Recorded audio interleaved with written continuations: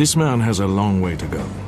Whether he makes it depends entirely on his own stamina and determination, for he's free to quit at any time. Already he is cruelly punishing his body. His feet are throbbing and blistered, his ankles swelling.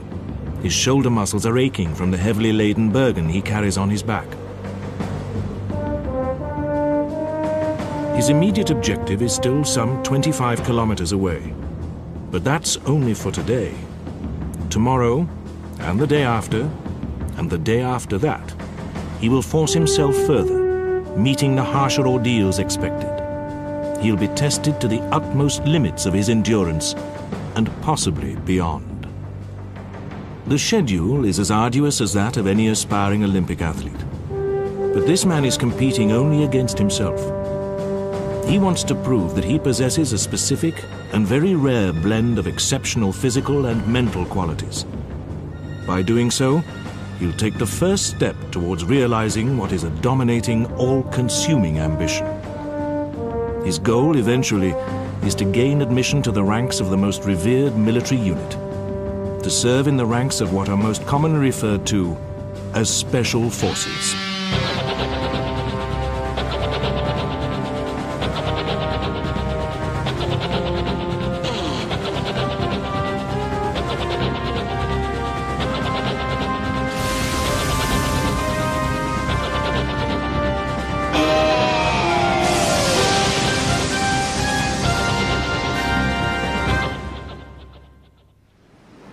Throughout the armies of the world, there has emerged a new breed of courageous men.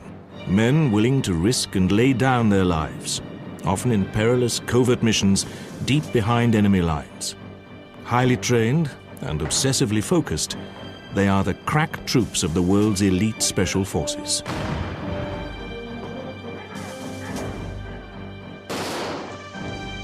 Since World War II, this new breed of elite soldiers has emerged. No longer ad hoc groups mounting hit-and-run raids on enemy targets, but a highly organized, highly trained, intensely self-disciplined and ruthless band of men who make up the individual elite forces of the world's armies.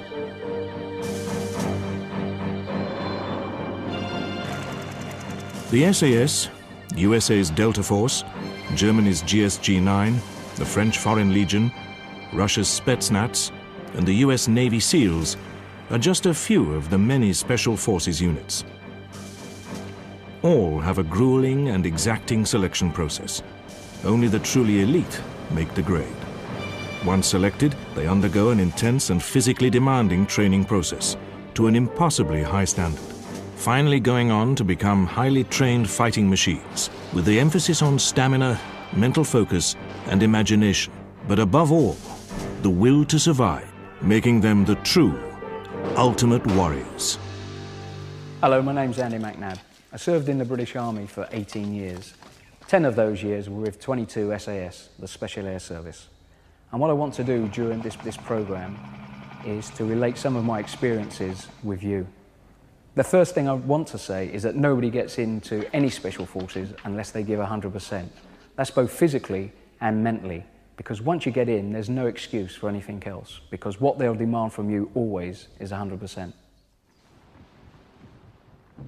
To get into the Special Air Service, or what we call a regiment, takes a high degree of stamina. Now that's both physical and mental. But it doesn't stop there, because once you get into your squadron, that fitness has to be maintained. And there's no fitness tests once you're there. It's all down to self-discipline. But the day you can't fulfill your task because you're not fit enough, then that's time to leave. And even at this early stage in my selection, I felt this uh, affinity to special forces and felt part of the family. But still, I had six months to go.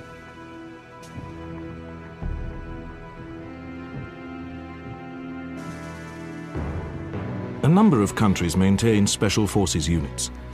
The variations make a compact definition impossible, but they all have some common features. Invariably, the units are manned by volunteers only. Entry into these elite forces is exacting and difficult. The training is specialized, intensive, and wide-ranging. The units are small and prefer a high degree of anonymity, as the work is often covert and decided at the highest government level. Sometimes, inevitably, Particular operations attract world headlines, but for the individual soldiers, only a strict, anonymous fame is tolerated, since neither their true names or their identity can be made public. The pay is not extravagant, the time spent away from friends and loved ones invariably long. Anyone joining special forces can expect neither wealth nor glory. Theirs is a different motivation, one of self-belief. How far they can push their own limits, with the inner satisfaction of belonging to a small group of highly skilled and motivated professionals with the chance of carrying out tasks few would even venture to undertake. Special forces can be traced back even to Roman times, but they only started to appear as we know it during the Second World War. And this was partly due to new military technology, and in particular aviation because it was now possible to get small groups of men, transport them over into enemy territory to create havoc and bring them back again. So what was needed was men capable of doing that, taking advantage of this technology. Because the whole concept of special forces is to create the maximum damage with a minimum risk. Burma, 1943. The Chindits, brainchild of the eccentric but charismatic Orde Wingate, mounted their first daring raid into occupied Burma, providing a desperately needed gleam of success in a theatre hitherto dogged by defeat. The Chindits blossomed under the joint sponsorship of Churchill and the Americans into a corps-sized special forces unit. North Africa, 1942.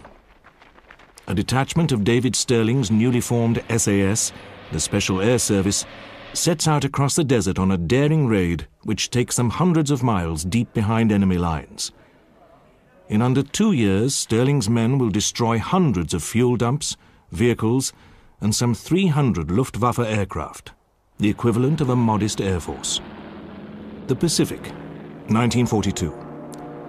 Responding to a radioed warning from an Australian coast watcher living undercover amidst the enemy, American naval aircraft repel a major Japanese strike against the fragile yet vital bridgehead on Guadalcanal. Gran Sasso, Italy, 1943.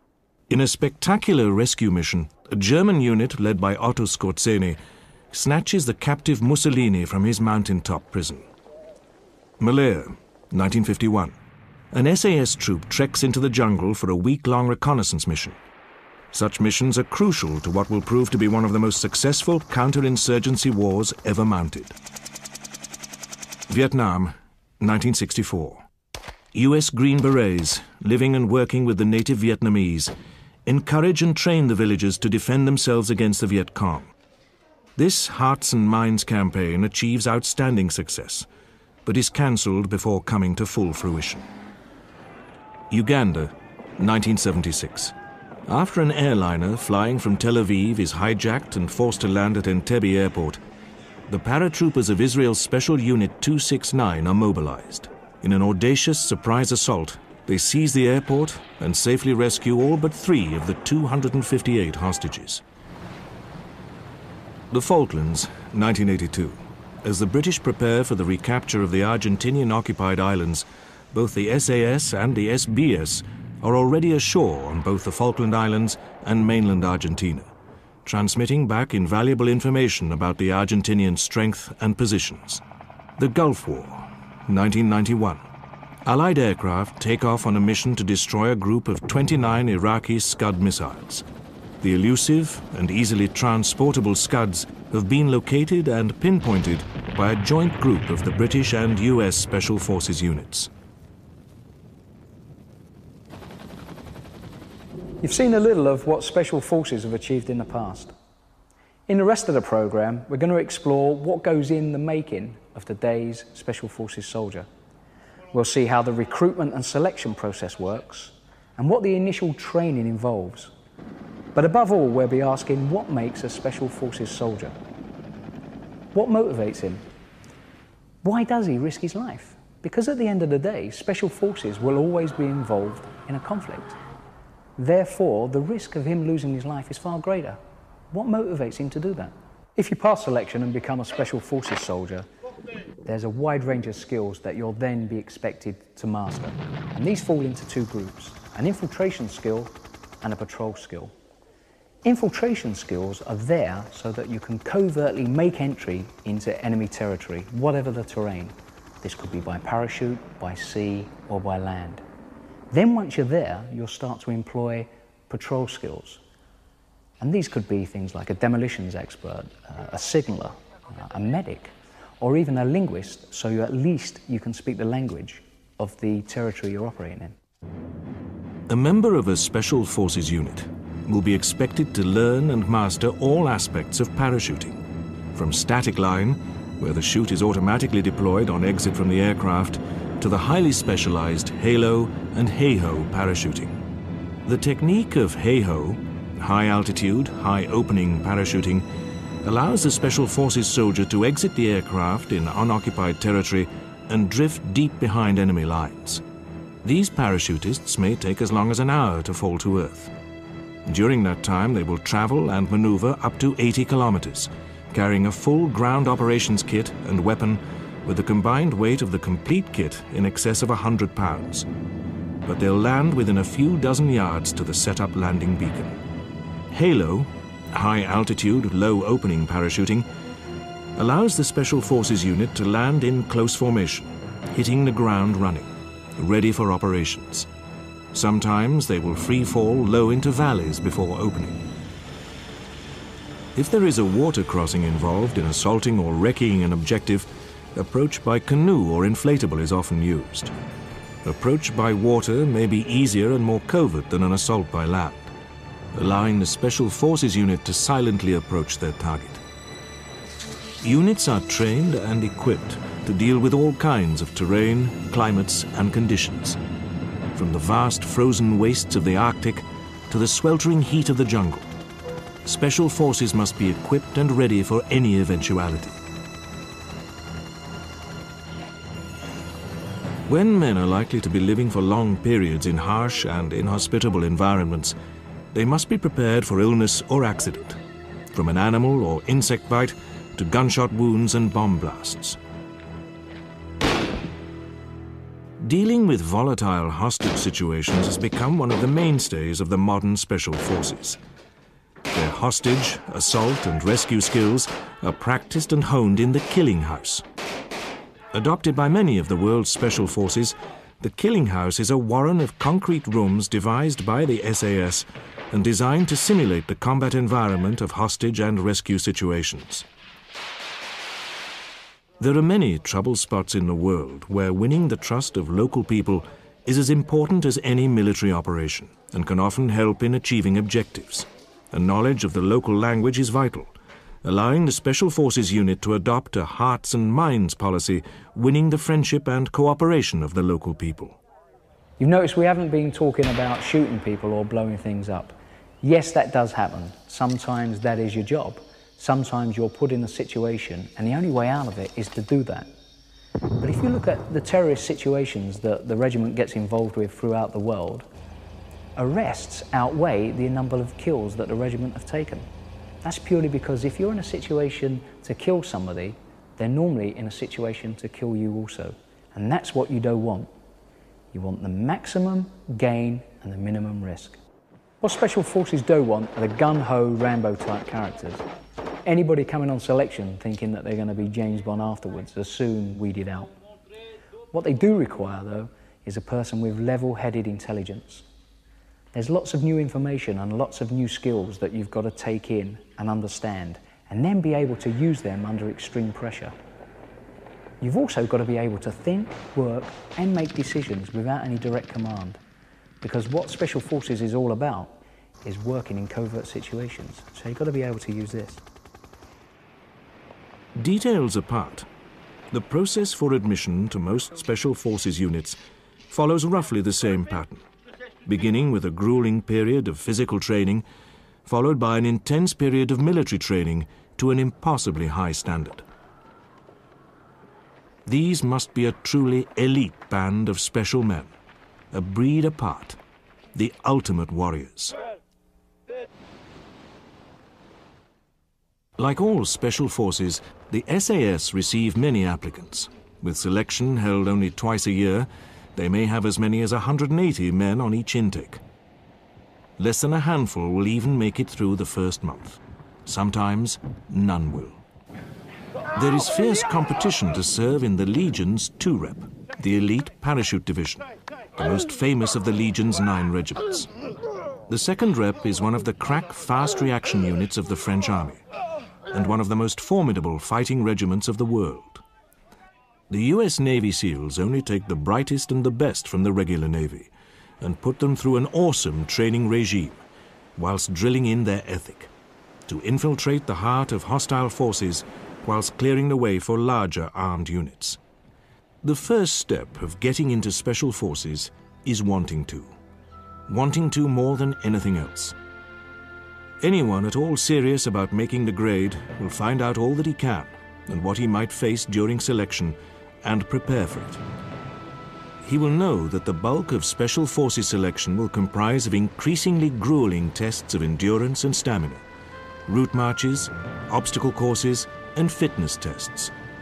A prospective candidate will train for it and will have to train relentlessly.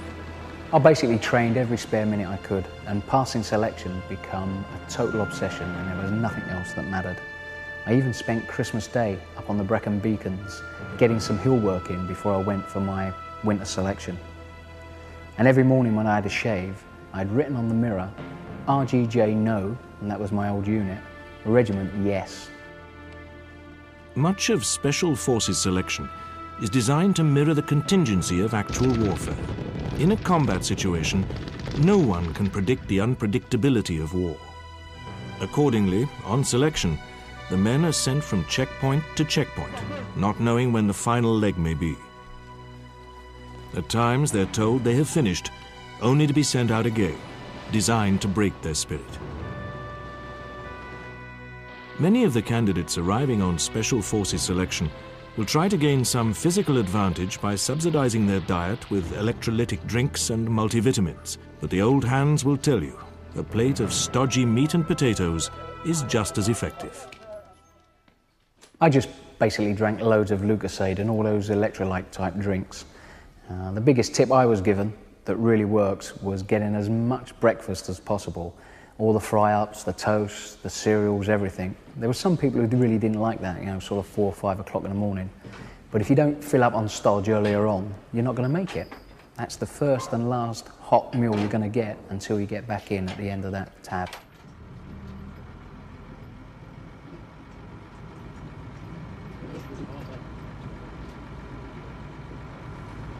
Okay, fellas, what's going to happen in the next 10 minutes? You're going to go around the other side of the vehicle, Take your Bergens off, sit yourselves down, and just relax. Only in the UK's SAS do they concentrate on individual route marches between preset checkpoints. The men are given only a grid reference and must tab or march alone carrying increasingly heavier loads across the inhospitable and dangerous terrain of the Welsh mountains. 110, your route, low. Right, know where you're going? Okay, shows. Yeah, no problems. Stopping regularly to read the map only adds up to a lot of wasted time, so map reading needs to be done on the move.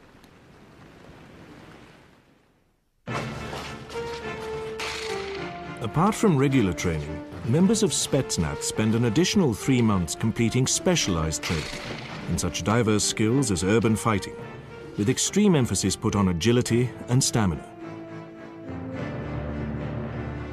During SAS selection, the first big benchmark test comes within the first week the fan dance.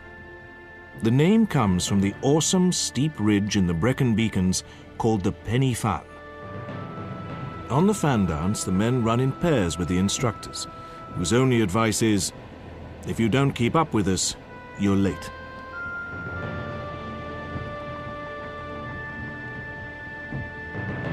All members of the Green Berets Special Forces Group are volunteers who must be parachute qualified and undergo a rigorous training program lasting between 44 and 62 weeks. The selection process is as demanding as any of the world's Special Forces units. During SAS selection, the men will ascend and descend a steep ridge of the Pen y Fan, some 3,000 feet high, in the course of a punishing 26 kilometer run. again loaded with their 9.5 pound weapon and a 35 pound Bergen, and allowed only four and a half hours to complete the task. Selection is held only twice a year, once in winter and once in summer. Not even the severest extreme weather will prevent selection being held. The men are set off in rain, snow, fog, or extreme heat. The tab is punishing and not for the faint-hearted. In the depths of winter, there have been many fatalities, often tabbing through driving rain and 100 mile an hour winds. Men have been picked up and blown clean off the top of the fan. In summer, the tab is equally grueling, with the extremity of the steep climb draining even the fittest with dehydration and heat exhaustion. Many fail this first big task, designed to weed out the weak and the unfit. After the fan dance, with three weeks still to go, around two-thirds of the original intake remain. The distances of the tabs now go as high as 63 kilometers, and they begin to include night marches. In the US Navy SEALs, training concentrates on practical techniques and teamwork and how to work together. The men carry telegraph poles and dinghies to further develop their sense of cooperation and reliance on each other. At the end of their first phase of training, the candidates can run four miles in under 30 minutes and swim two miles in under 90 minutes. The one thing I did start to pick up during selection uh, was the slang. Words like bakshi, basher, bone, headshed, Okay, um, green slime. At first, these, these were very, very uh, confusing, and I just used to nod and agree and, and try and find out what they were later on. But certainly, once I got into my squadron, um, it became uh, everyday part of my language.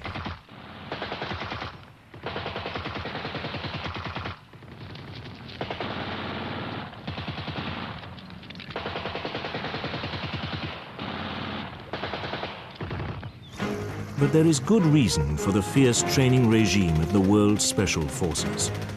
These men may be called upon to face the real ferocity of battle, to be able to function, react and operate in the heat and confusion of bloody conflict, where the objective and lives of their comrades will rely on the individuality and tenacity of the ultimate warrior. As history has recorded, in all theaters of war, the world's special forces have always played a crucial role. Well done, mate. Keep it going. That's good. That's good. Every morning there is a fresh pain barrier to be breached.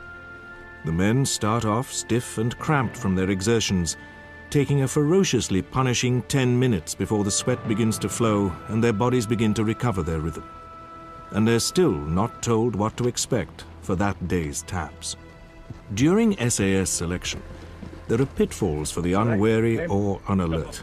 Number, 155 stop. route, Green. Green stop. green. Okay. Take your Bergen off. What weight should your Bergen be? 60 pound stop. Those who think it's clever to lighten the load from their Bergen will quickly have a heavy stone added and will probably face being RTU'd once the day is over. Right, you're 15 pounds under. Sorry, stop. Okay, you see the rock there? Stop. Get it inside your Bergen. Your name's been taken and it'll be reported to the training major when we get back. And he'll probably have a word with you. I'll also radio through to the other DS, the other checkpoints, and they'll check to see if that rock's still in there. So don't dump it. Okay, stop.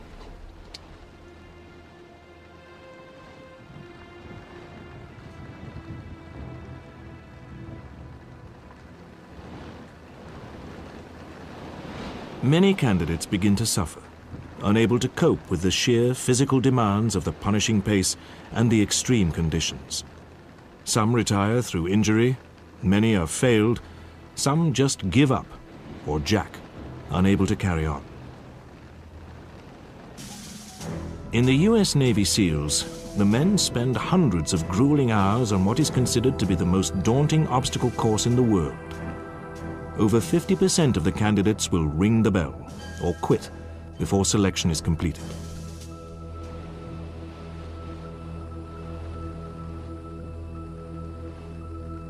When you start the day's tab, no one tells you the distance that you're going to travel for that day or the cut-off time. all you know is your next checkpoint. Because what they want you to do is move as quickly as possible over those hills with the weight on your back.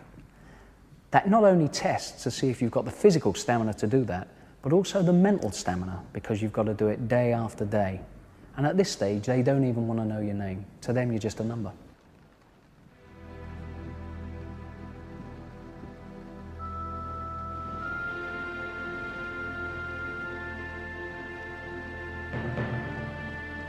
The best thing is just to be the grey man, keeping your head down and making sure your timings are good. And don't do anything that's going to draw attention to yourself. You don't want no yapping or mouthing off. Just get your head down and get on with the job.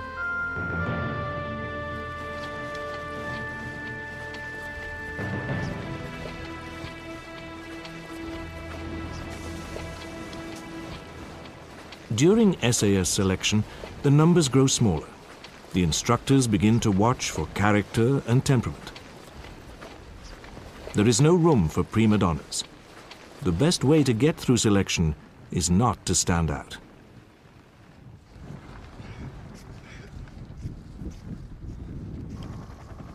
I really hated the Elan Valley, especially in the winter during my selection.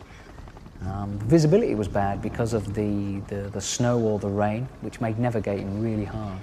And also the covering of snow made it difficult to make distance. And on top of that, there's always the possibility of, of getting an injury. And it doesn't matter how fit you are for this first part selection. If you get an injury, that'll slow you down and you'll be off. The South African SAS comprises of three squadrons and trains along the same lines as the UK's Special Air Service. Whilst the emphasis is on fighting and operations in the bush, the South African SAS plays a similar role to that of the SAS in Northern Ireland, particularly in information gathering and covert surveillance, and are deadly exponents in the art of bush warfare. Only the utterly dedicated will make it through to the fourth week. And for these people, failure is particularly bitter. I was binned on my first selection just two days before the end. And I can remember sitting in Hereford Station with another bin soldier, and both of us were feeling absolutely devastated. What really got to me was the thought of all that training, and then once on selection, the physical and mental pain that I had to go through, plus the sheer exhaustion, only to fail on the last hurdle. And the other soldier had already used up his two chances, and he started to cry on the way back because it was so devastating.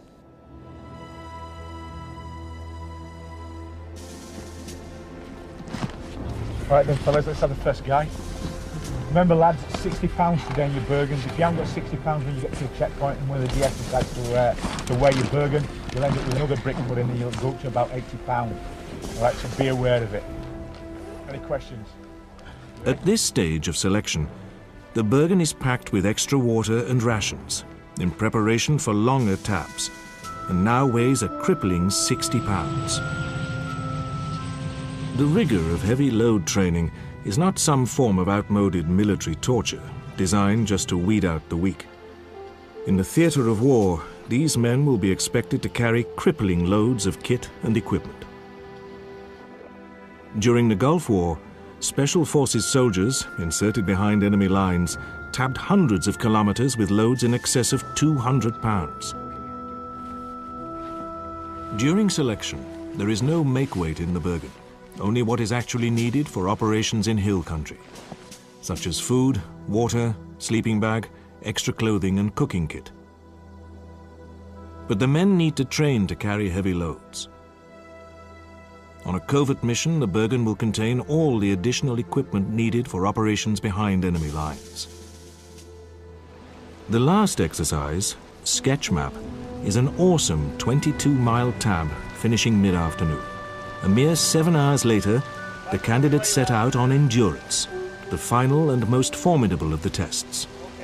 It is all cross-country, and mostly in darkness. Due to the distance and time, the Bergen is packed with extra water and rations.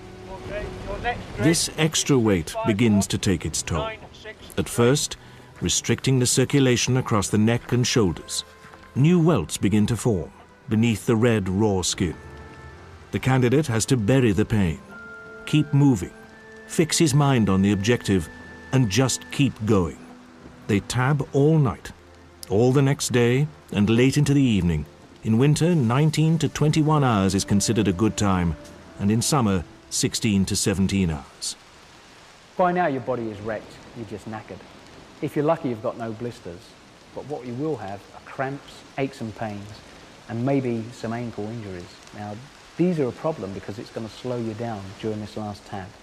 So what a lot of us were taking was a drug called Brufen, which controlled the pain and brought down the swelling a bit.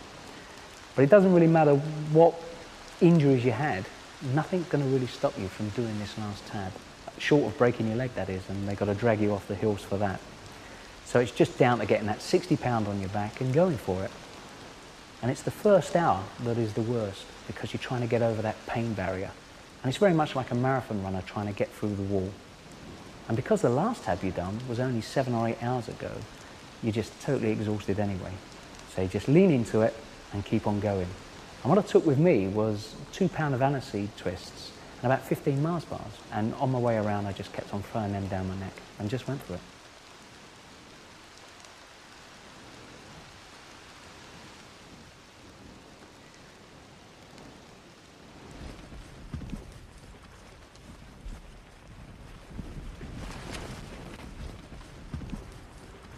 All those who complete the last phase of Special Forces selection, endurance, will be in a physical state of utter exhaustion. But for those that do make it, an intoxicating sense of joy and elation outweighs everything. They have made it this far, but still have a long way to go, for they know the first and biggest hurdle is behind them. But after a brief rest of just a few weeks, they must steel themselves for the next two daunting phases of selection weapons and jungle training. Selection concentrates heavily on fitness, stamina, and determination. Because without these basic, fundamental qualities, no one will get anywhere in special forces. Standards are particularly exacting. In the SAS, only around 10% of the intake survive the first month. Those that do qualify for special forces don't necessarily look like professional athletes or muscle men. But different special forces look for different candidates. Delta Force troops tend to be visibly muscular. Spetsnaz more athletic. The Foreign Legion concentrate on stamina, and the South African Special Forces on weapons and military abilities. Physique itself isn't important. Everybody thinks in special forces is that you've got to be six foot six tall, four foot wide to do the job. That isn't so. During the Gulf, we were carrying loads in excess of 15 stone each. It isn't what you look like, it's if you can do the job. That's what counts. But if you are six foot six, you stand out. Special forces don't want that. What they want is the grey man, somebody who can blend in. It is possible that some of the men may go straight into operational duties on joining their squadrons. So continuation begins with a period of intensive weapons training, with particular emphasis on the weapons most favored by Special Forces units. Because of their usefulness in covert operations and anti-terrorist work, pistols are an essential tool of all Special Forces.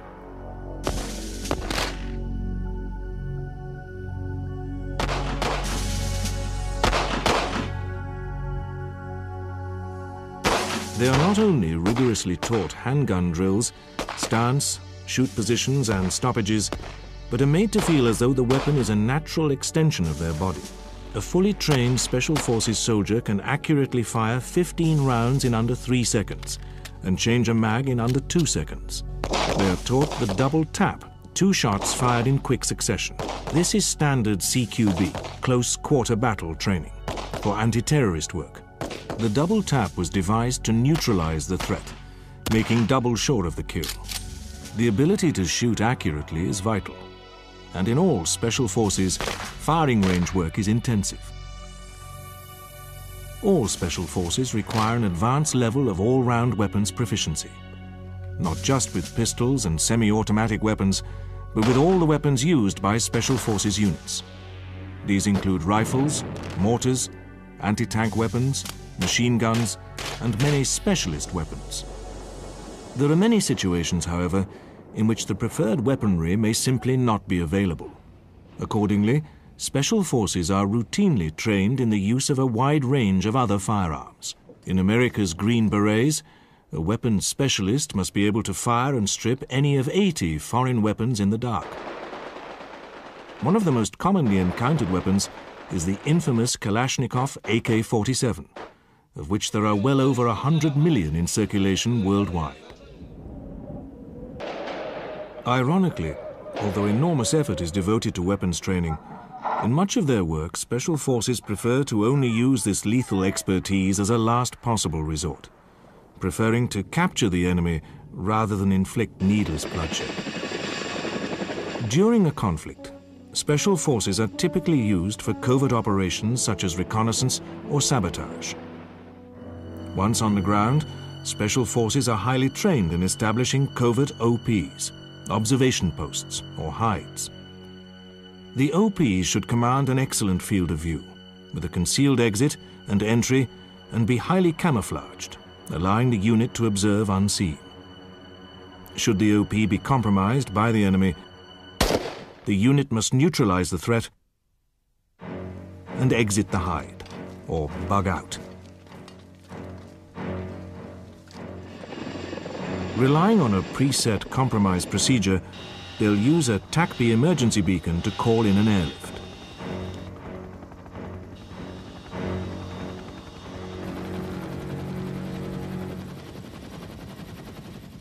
Killing has never been the primary role of special forces. The idea was to simply kill people, you could get the artillery to do that or have saturation bombing. And that's going to be far more effective than just having small groups of men armed with only what they can carry. What special forces are about is covert operations. Getting behind the lines, destroying the enemy's communications, their equipment, and their supply lines. When you're doing that, you're also lowering their morale. And certainly during the Gulf War, the regiment were employed on them tasks well before hostilities started. Most Special Forces units contain an anti-terrorist team devoted to hostage and rescue operations. In any hostage-held situation, synchronized multiple entry throughout a building is essential. The team's assault with smoke and gas will deliberately help to create panic and confusion, making it easier to neutralize the target with less risk to the hostages. Once inside, each team member will clear specific parts of the building using CS gas and stun grenades to momentarily disorientate the terrorists, allowing them the vital seconds to make the kill. The well-drilled movement and precise communications between the team is essential when split-second reactions are needed.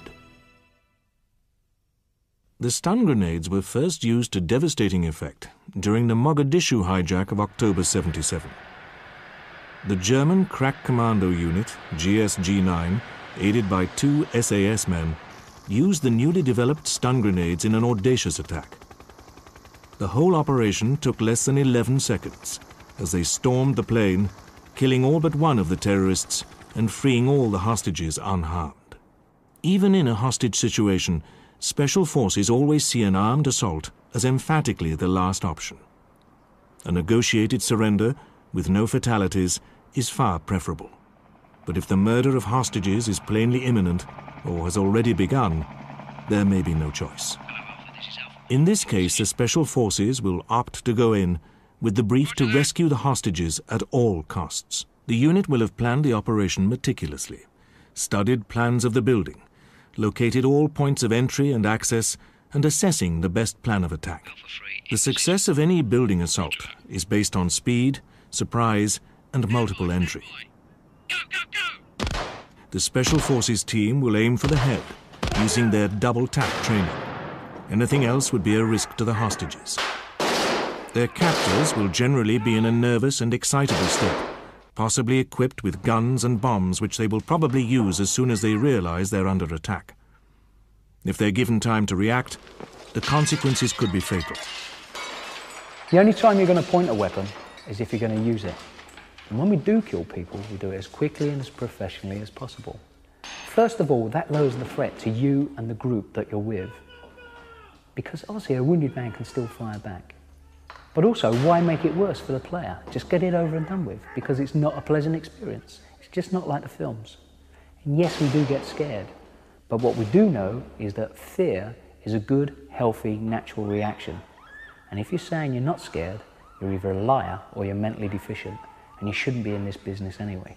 That said, no one would hesitate to kill. Killing is taken seriously. We understand that the players that we could be up against have families and have friends just the same as us. But we have a responsibility, first of all, to ourselves to keep us alive, and a responsibility to the rest of the patrol that you're with. And sometimes that means killing them first. And that's just a fact of life. If people think that killing is glamorous, well, basically, they must be sick in the head. If you've ever been in special forces, chances are you've had friends who have been seriously wounded or dropped. And it's not fun. It's not fun trying to keep somebody alive who've had their leg blown off by a landmine. And even David Stirling, the founder of our regiment during the Second World War, regretted killing a group of Germans with a hand grenade because he said it was unnecessary and it was just a waste of life to achieve the aim. And that ethos still survives now in the regiment. After weapons training, the next major phase in Special Forces continuation is jungle training, where the men spend a month deep in the tropical rainforest, learning the rudiments of living and fighting in the jungle. On arrival at the camp, the men immediately appreciate the need for supreme fitness. To even stand still in the intense heat and humidity is tiring. The environment is harsh and imposing, where innumerable diseases from insect or animal bite can flourish. Initial days in the thick, dense bush can be disorientating and frightening, with incessant sounds and movements. An environment with countless hidden dangers offering any potential enemy abundant cover and the element of surprise. The first thing the men must learn is how to construct an A-frame, which will provide them with a safe place to sleep off the jungle floor. In some armies, they think it's hard to sleep out on the jungle floor night after night. Of course, we practice it because sometimes we might have to. But the problem is the ground is sodden, it's damp, it's crawling with insects, there's snakes, scorpions, and if you're out in it night after night getting bitten to death by these things, it's naturally going to have an effect on your operational capability. And the fact is, you're not in the jungle to prove how hard you are. You're in the jungle because you've got a job to do.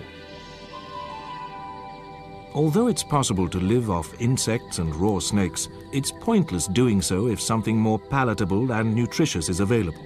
But as part of their training, the men are taught to forage and live off any nutritious things they can find such as roots and plants.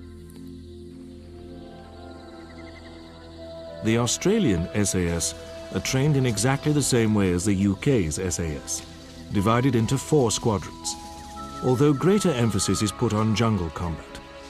The Australian SAS have fought in many campaigns and during the Vietnam War mounted many daring covert missions, killing more than 500 Viet Cong guerrillas for the loss of only one man. The Australian regiment collectively won four Victoria Crosses in the Vietnam conflict.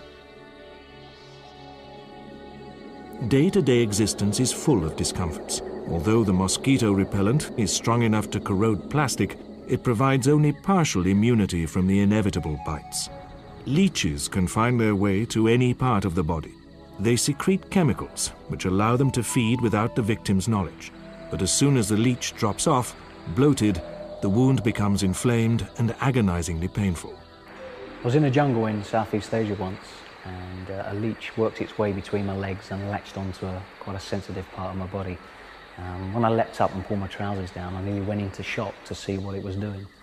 And it left me with this scar, and it's about the size of a cigarette burn, um, which is fine, I can live with that. The thing I couldn't live with for weeks afterwards was the rest of the squadron telling me that the leech was bigger than what it was dining on. But the real danger in the jungle is the jungle itself. Here, the basic rules for survival are imperative. The men are taken through every aspect of jungle survival. Within the dense forest, it is all too easy to become hopelessly disorientated and become lost just a few yards from the camp. The instructors instill the importance to go everywhere, even the shortest distance, in pairs. The men soon discover any physical exertion is debilitating and makes it even more difficult for the body to maintain its proper temperature, Sweat does not evaporate, stimulating the body to produce even more. Any lost bodily fluids must be steadily replaced, or dehydration and blackouts will ensue.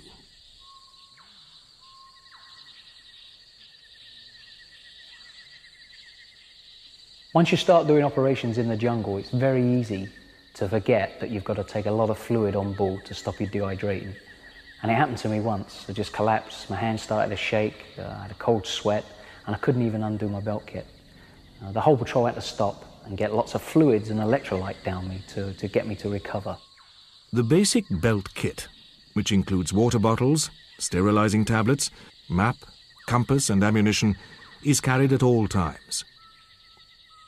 As the means for obtaining shelter and food, the golok or machete is the soldier's single most vital piece of equipment. A large part of the time is spent on practical training and exercises, the preparing of ambushes, and the rudiments of camouflage. For jungle work, camouflage cream goes over the mosquito repellent, and weapons are carried at all times, the most favored being the M16 203, proving its extreme proficiency in the jungle war of Vietnam and has been adopted as the preferred weapon of Western special forces. The men first learn how to use explosives to clear a landing site or winch hole for a helicopter. If there is any medical emergency or a military need to get out quickly, a helicopter is the only means of getting a casualty out swiftly. On covert missions, the men are trained to operate without spoken orders, using only hand signals to communicate. Four men are recognized as being the ideal tactical number to maximize the chance of surprise and minimize the chance of compromise. Each patrol member will be cross trained, so each man is a specialist in at least one of the patrol skills. A unit would usually consist of a signaller, a medic, a demolitions expert, and at least one man proficient in languages. A patrol must leave no signs which could alert the enemy to its presence. Even cobwebs must be left intact. Bodily waste must be collected. Because of the insect life it attracts, it makes a conspicuous marker. The men take it in turns to lead the patrol, helping to develop leadership qualities and an appreciation of the problems leadership brings. Nearly always, it is better to make a wrong decision and act promptly on it rather than to be indecisive. And the best way to illustrate this is to describe a picture that's hanging on our training wing wall in Hereford. It's a pen and it's full of sheep, and underneath it says you've got to do one of three things lead, follow, or get out the way.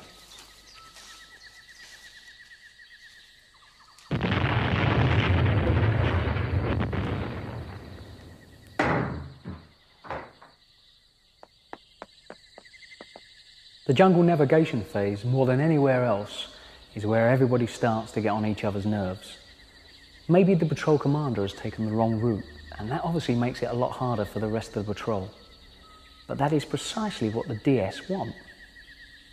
Because they're looking to see if you've got the aptitude and the temperament to work in a harsh environment, under extreme pressure, and just with a small group.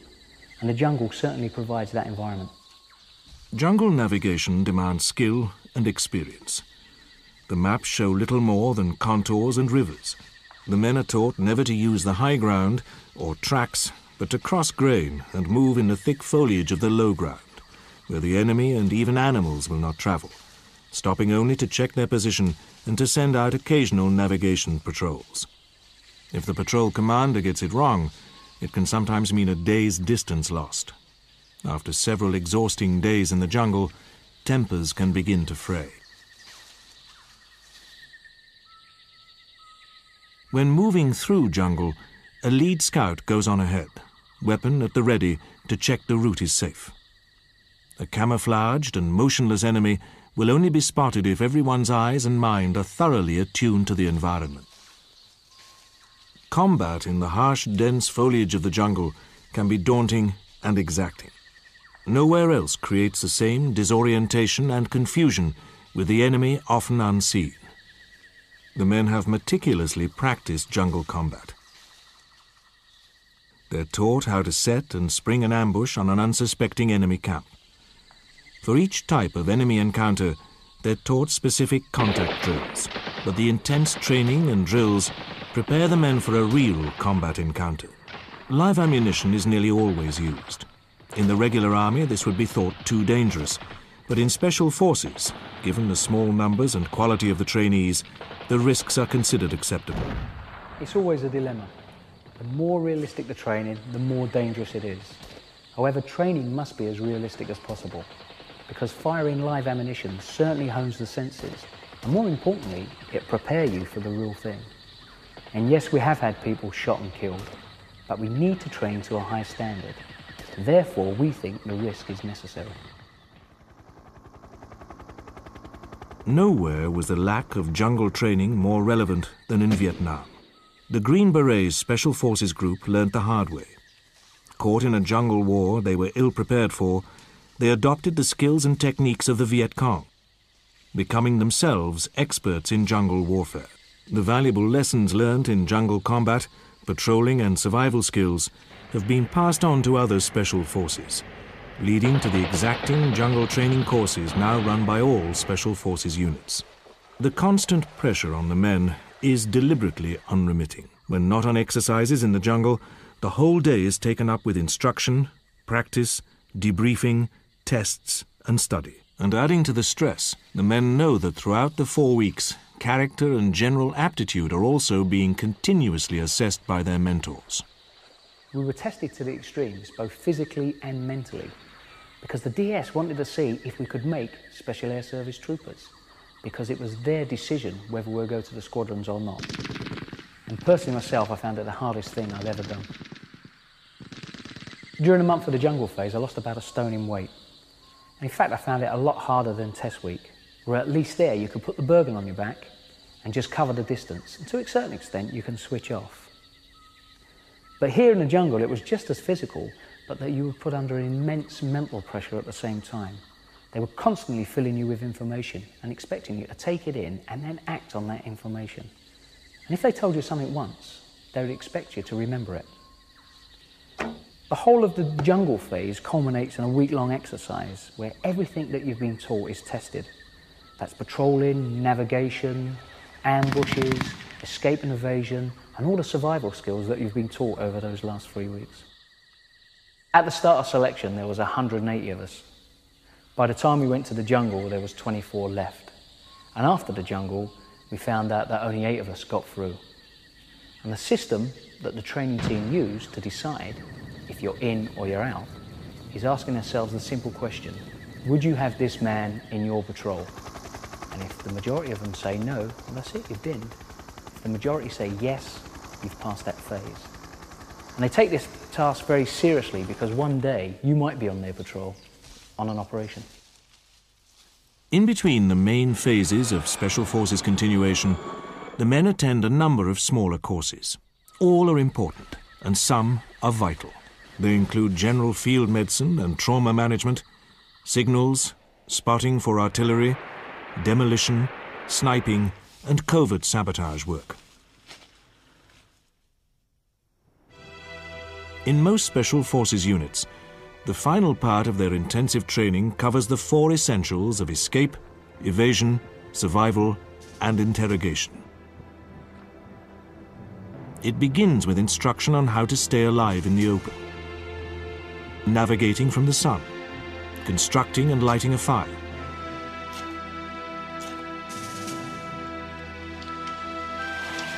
finding and gathering water, and foraging for food. The men are taught to construct snares and traps. The men are also taught how to build a temporary or semi-permanent shelter, known as a basher. This was the last major phase of continuation training and potentially the most scary because the Special Air Service were not responsible for part of this training. It was an external agency called the Joint Service Interrogation Wing. They're the people who would say you had passed or failed. So what I decided to do was to do the minimum requirement to pass, and that was it. During the escape and evasion phase of combat survival, uh, you're given a British Army Second World War battle dress and greatcoat to wear. And if there's any suspicion that you're hiding food or any extra bits of escape kit, the DS will come along and they'll just start cutting it up and looking inside the battle dress. And that's counterproductive because that means then you go out into the field already ripped to shreds. Okay, fellas. What basically happens is that you're let loose with an escape map. And that's basically a sketch map that you've drawn on a piece of parachute silk. And what the DS give you is a location where you can meet an agent. And that agent will then tell you where to go to the next agent. Sometimes they'll give you food, sometimes they won't. It could be a potato, it could be a couple of slices of bread. Compared to the jungle phase, the early part of combat survival is almost a holiday. But the concluding major exercise is as daunting as any already faced. For five days, the men are on the run, having to survive in the open with nothing but the basic survival kit. Moving along a succession of rendezvous points, whilst being hunted by detachments of regular troops driven on by the incentive of extra leave for every fugitive they catch. Such exercises are universally practiced. The Green Berets are dropped in the middle of a national forest and have to make at least 25 miles whilst being pursued by tracker dogs and the 82nd Airborne. During the day, finding the most prickliest antisocial bush you can find and getting in there to avoid them. The men are taught the basic art of camouflage and concealment, using any natural cover or terrain to try to cover their tracks and movement from the hunter force. As in jungle training, they will move through thick bush, hoping the hunter force will stick to the path. Because as soon as the hunter force know that you're in the area, it's very unlikely that you're going to get away. They've got aircraft, they've got dogs, they've got men on the ground. The men are generally set off in pairs and will try to move quietly and tactically, stopping only to rest or to do a navigation check. The hunter force will have mobilized several squads to hunt down the runners. They will be aware of the possible route the runners may take and fan out. Each runner will have a survival tin with everything he needs to stay alive in the open, containing a button compass, a flint and steel firelighter, a commando wire saw, fish hooks and line, snare wire, oxo cubes, and needles and thread. The escape and evasion phase of the Special Forces selection is designed to test the men to the utmost, to run them into the ground, to try to break their spirits, reduce them to a physical state of exhaustion. Again, this is to mirror the possibility of being hunted down and captured in a real combat situation.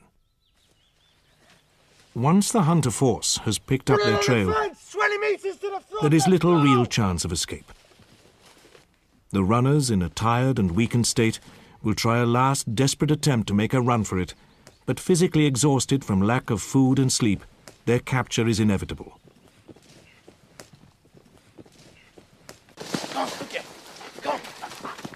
Whilst in this weakened condition, they are suddenly called upon to face a new and grimmer ordeal.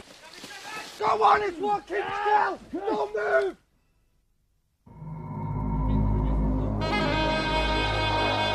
During the Gulf War, several Special Forces soldiers had to face the daunting and horrific ordeal of capture, incarceration, and torture. All prone to capture troops go through the interrogation training, designed to mirror, as much as possible, the stress, fear, and mental abuse they may have to face at the hands of their captors.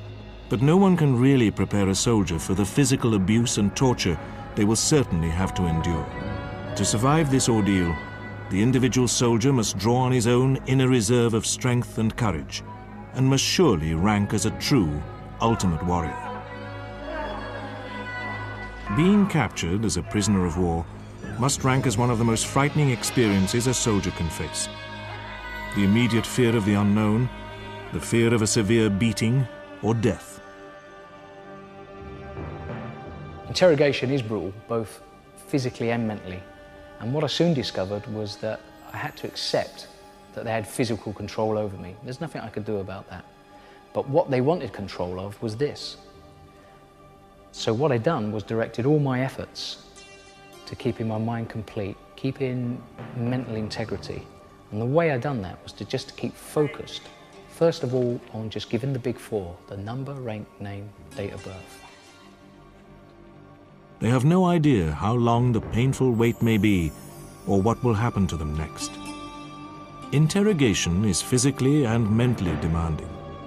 For the prone to capture troops, such as special forces, they have been trained for the real possibility of capture and interrogation. During the course, we had lectures from many ex-prisoners of war, from the Second World War, Korean and Vietnam conflict. And the one that really stuck in my mind was a United States pilot who got shot down over North Vietnam and was put in solitary confinement for six years. And during this time, he went through horrendous torture. Every major bone in his body was broken. But he was still alive because I was, I was watching him. He was there giving his talk. He had no hair, he had no teeth, he had no muscle mass, but he was still alive. And when I became a prisoner during the Gulf War, I used to think back to that lecture. And it really helped me during the time of my torture because I knew that there'd been people who'd gone through a lot more than me and they were still alive. And that helped me very much indeed.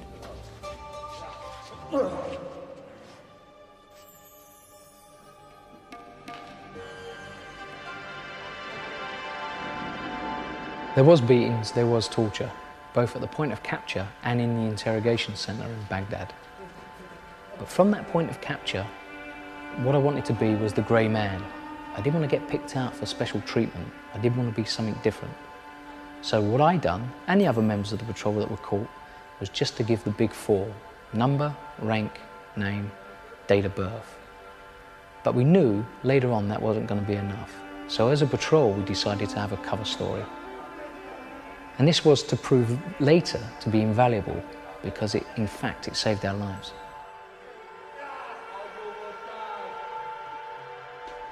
During the interrogation process, people find out a lot about their individual strengths and weaknesses.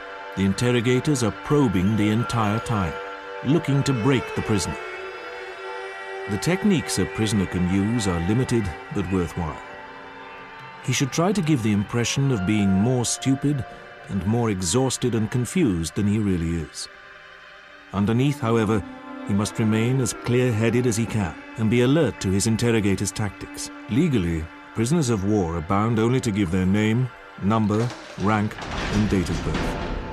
But the captured Special Forces soldiers of the Gulf soon realized this would not be enough to keep them alive. I knew that the Big Four would only last for a short while. After going through relentless questioning, um, beatings, kick-ins, getting paraded through the town so the local population could take their frustrations out on you, I knew it wouldn't be long before I was dead. So then was the time to break into my cover story, as other members of the patrol did also. What that done, that gave us more time. But the problem was is that that was the story we'd have to stick to. And the cover story was that we were members of a search and rescue team. These are groups of people that would go in to occupy territory to extract shot down pilots.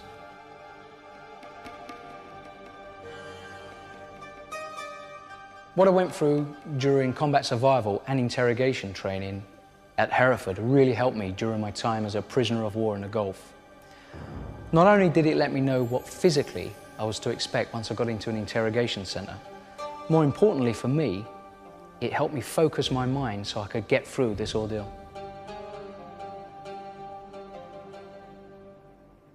With the grueling and exhaustive initial training behind him, the individual Special Forces soldier will return to his unit to be officially badged.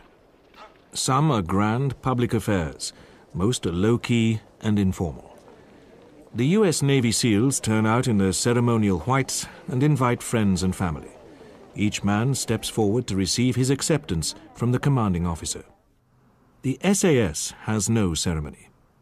Each man is ushered into the presence of the commanding officer, who simply hands him a sand-colored beret from the pile on his desk.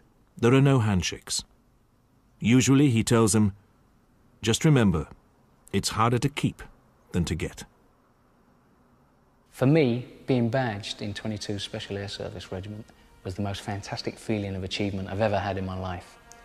Just standing there waiting to, to get my berry and thinking that I was only one of eight out of 180 who passed the most arduous selection process in the world made me, made me feel pretty wonderful. And I bet you there's not one single Special Forces soldier anywhere in the world from whatever unit who cannot remember the day he got accepted into that unit and the one that he's trained so hard for. But these men are not just gaining acceptance into a crack elite unit. They are becoming a member of a worldwide fraternity of highly trained men ready to take on the ferocity of war. From sieges to hijacks, from warfare to the hearts and minds policy, providing aid and medical assistance to war-torn countries. Many people owe their lives to the courageous tenacity of the world's Special Forces units. These men have entered the hallowed ranks of the ultimate warrior.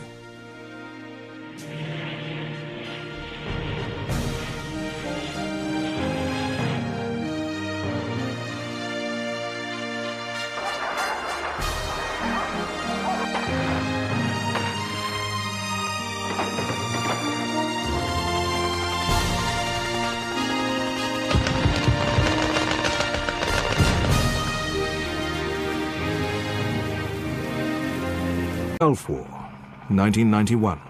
Allied aircraft take off on a mission to destroy a group of 29 Iraqi Scud missiles.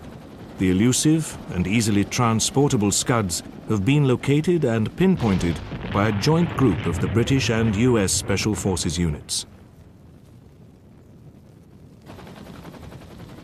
You've seen a little of what Special Forces have achieved in the past.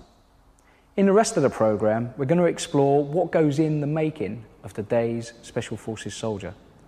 We'll see how the recruitment and selection process works and what the initial training involves. But above all, we'll be asking what makes a Special Forces soldier? What motivates him? Why does he risk his life? Because at the end of the day, Special Forces will always be involved in a conflict. Therefore, the risk of him losing his life is far greater. What motivates him to do that?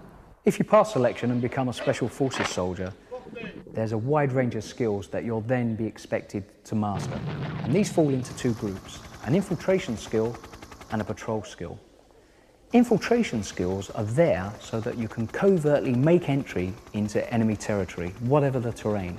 This could be by parachute, by sea, or by land. Then once you're there, you'll start to employ patrol skills. And these could be things like a demolitions expert, uh, a signaller, uh, a medic, or even a linguist, so you at least you can speak the language of the territory you're operating in. A member of a Special Forces unit will be expected to learn and master all aspects of parachuting, from static line, where the chute is automatically deployed on exit from the aircraft, to the highly specialized HALO and HAHO parachuting. The technique of HAHO, high altitude, high opening parachuting, allows the Special Forces soldier to exit the aircraft in unoccupied territory and drift deep behind enemy lines. These parachutists may take as long as an hour to fall to Earth. During that time, they will travel and maneuver up to 80 kilometers, carrying a full ground operation.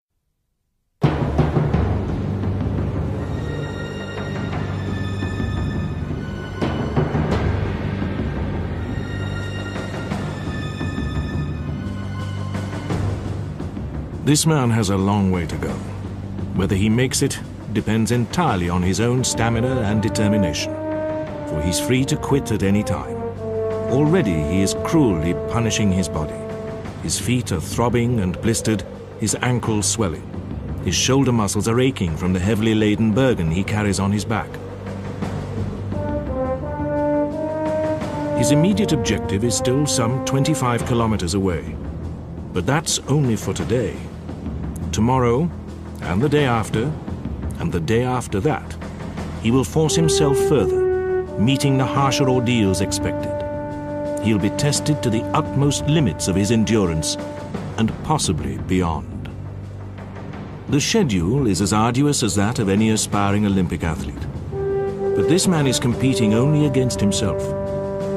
He wants to prove that he possesses a specific and very rare blend of exceptional physical and mental qualities. By doing so, he'll take the first step towards realizing what is a dominating, all-consuming ambition.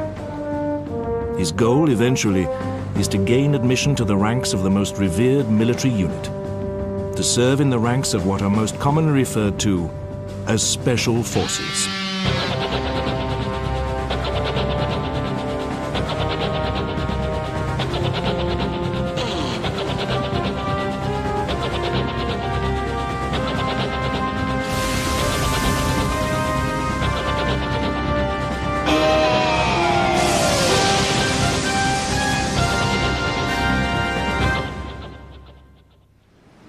Throughout the armies of the world, there has emerged a new breed of courageous men. Men willing to risk and lay down their lives, often in perilous covert missions deep behind enemy lines. Highly trained and obsessively focused, they are the crack troops of the world's elite special forces.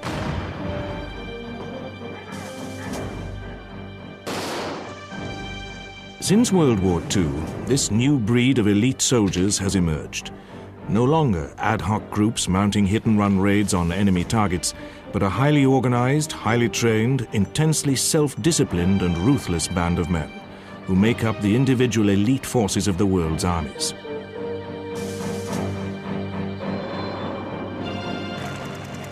The SAS, USA's Delta Force, Germany's GSG 9, the French Foreign Legion, Russia's Spetsnaz, and the US Navy SEALs are just a few of the many special forces units. All have a grueling and exacting selection process. Only the truly elite make the grade. Once selected, they undergo an intense and physically demanding training process to an impossibly high standard, finally going on to become highly trained fighting machines with the emphasis on stamina, mental focus, and imagination, but above all, the will to survive, making them the true ultimate warriors. Hello, my name's Andy McNab. I served in the British Army for 18 years. 10 of those years were with 22 SAS, the Special Air Service. And what I want to do during this, this program is to relate some of my experiences with you. The first thing I want to say is that nobody gets into any special forces unless they give 100%. That's both physically and mentally, because once you get in, there's no excuse for anything else, because what they'll demand from you always is 100%. To get into the Special Air Service, or what we call a regiment, takes a high degree of stamina. Now that's both physical and mental, but it doesn't stop there, because once you get into your squadron, that fitness has to be maintained. And there's no fitness tests once you're there, it's all down to self-discipline. But the day you can't fulfill your task because you're not fit enough, then that's time to leave. And even at this early stage in my selection, I felt this uh, affinity to special forces and felt part of the family. But still, I had six months to go.